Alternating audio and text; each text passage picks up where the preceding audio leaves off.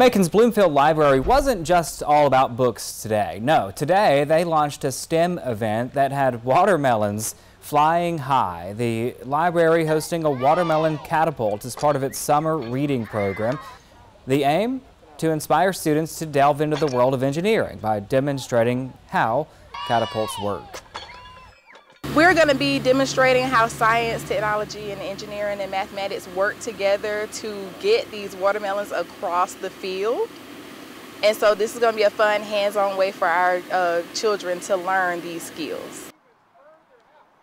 Alex Holsey, the Middle Georgia Regional Library's marketing coordinator, hopes this exciting event will inspire more students to engage with the library and its program.